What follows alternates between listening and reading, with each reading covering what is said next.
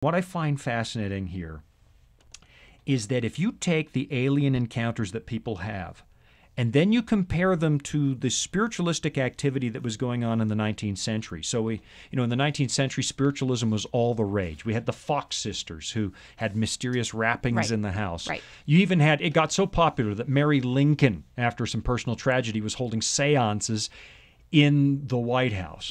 And oh, I don't know if they were actually in the White House, but she was holding seances, and I believe Abraham Lincoln went to one or two of those. Darwin in the 1870s went to a seance. This was very popular, and they were very popular in Germany leading up into uh, World War II.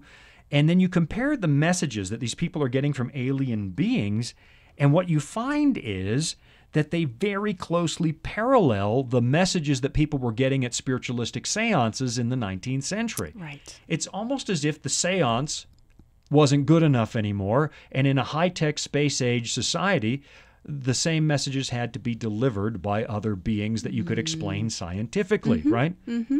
mm-hmm. Here's what's fascinating.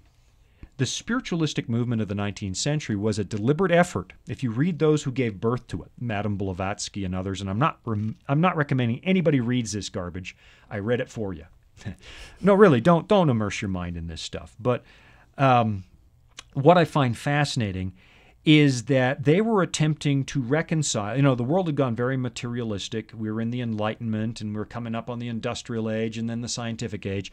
But there's an aching void in everybody's heart for spiritual content. Right. And they're trying to reconcile spiritualism or a desire for spirituality with science, and they come up with seances. Well, those kind of mm. fall out of fashion. Mm-hmm. And now we have alien encounters. Mm-hmm. Here's what's interesting uh, Whitley Strieber wrote another book, Transformation, and he he sees a female alien and he ponders aloud, I think this might be the Virgin Mary that people were seeing way back when, and it's an alien. Right. Why is it too? Uh, he he wrote another book, Afterlife Revolution. He made a pact with his wife Anne that she, if one of them died first, the other would come back and communicate.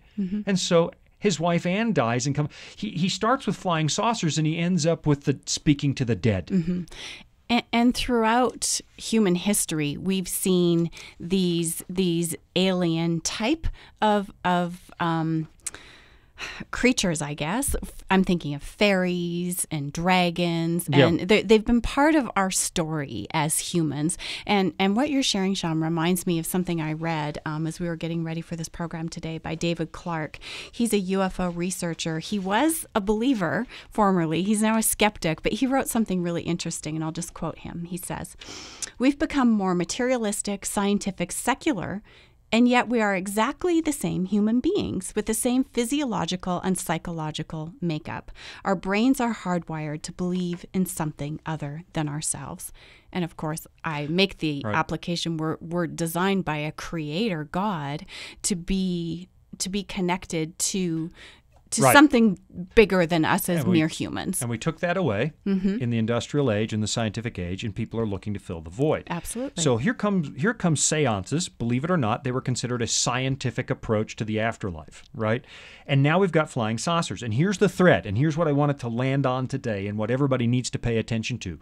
If these are visitors from other worlds, why in the world do they all seem to need to get to the subject of who Jesus is? Hmm. Right? Why in the world are they talking about someone who lived on earth 2,000 years ago?